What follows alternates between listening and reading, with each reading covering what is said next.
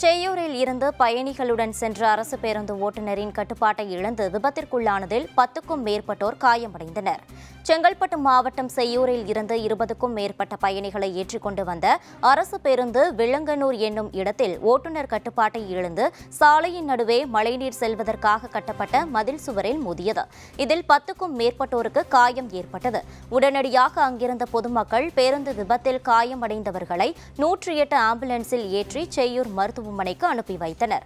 தொடர்ந்து இந்த விபத்து குறித்து செய்யூர் காவல்துறையினர் விசாரணை மேற்கொண்டு வருகின்றனர். விபத்து குறித்த கூடுதல் தகவல்களை எமது செய்தியாளர் பிரவீன் வழங்க கேட்கலாம்.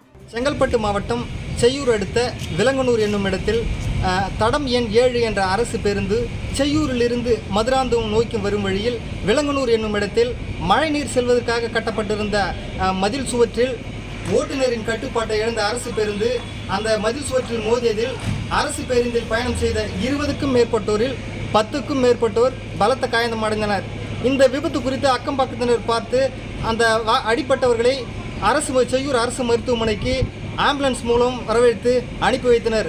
மேலும் இந்த விபத்து குறித்து செய்யூர் காவல்துறையினர் விசாரணை மேற்கொண்டு வருகின்றனர்.